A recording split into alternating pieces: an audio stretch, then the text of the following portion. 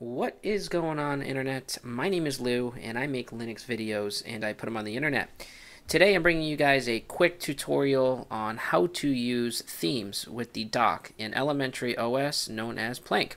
So first and foremost, um, if you guys like a GUI application method uh, to apply tweaks, I have not used this, but on elementaryupdate.com there is a tweak tool very similar to GNOME tweak tool.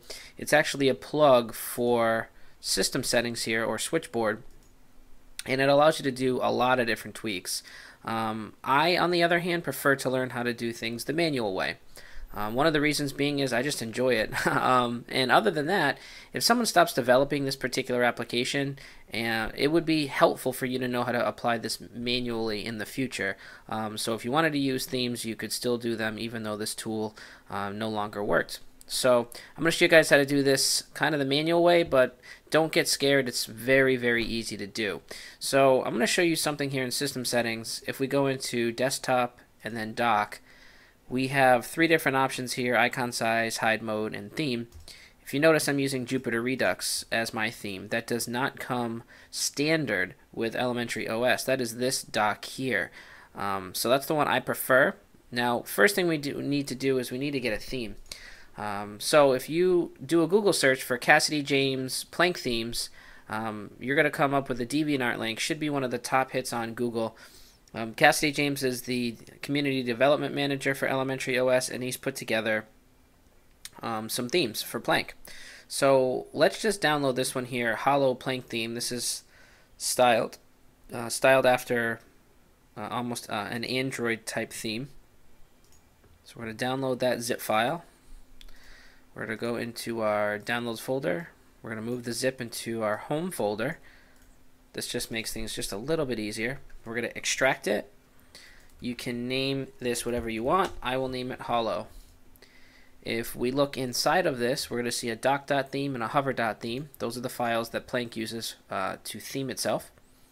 So now what we're going to do is I'm going to have you guys open up a new terminal, but while you're doing that, We'll get Screenkey going so you guys can see what I'm typing here. So let's open up a new terminal window here. And what we want to do is we want to move Holo to the themes directory for Plank. So we're going to do that by executing sudo move forward slash user forward slash share forward slash plank forward slash themes. Actually, it would be helpful if I told uh, told it what to move. We're going to move holo. All right, now let's just hit enter. It's going to ask us for our password.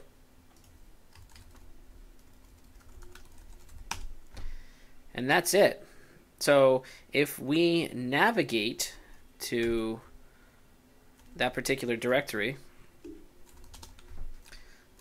and we list we list out what's inside, we can see that we have default. There's our theme that we just moved, holo. Jupiter Redux, Matte, Pantheon, and Transparent. So if we open up System Settings, we go back over to Desktop, then to Dock, and now to our Themes section, we can see that Holo is there now.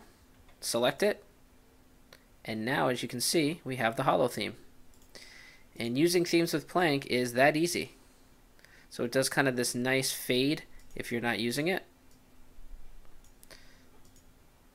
switch back over to Pantheon, and switch back down to Holo. And that's pretty much it. So that's how to use themes with Plank in Elementary OS. I hope this video was helpful. If so, feel free to give it a thumbs up. That helps me out. Feel free to share it with your friends.